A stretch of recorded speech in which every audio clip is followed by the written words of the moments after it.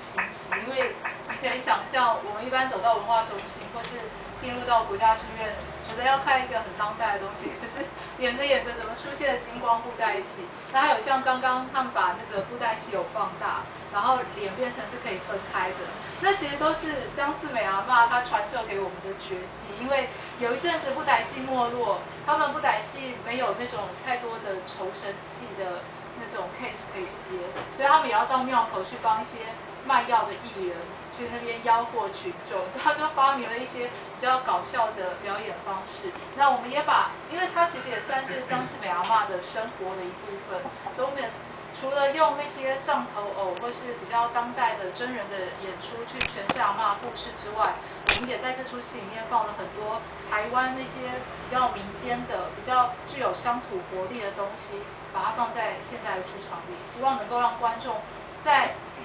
看到一个阿嬷故事的时候，可以去想一下，其实，在我们身边已经有很多不一样的创作的类型。它虽然是被民间化了，可是它其实具有很多很很独特的草根的。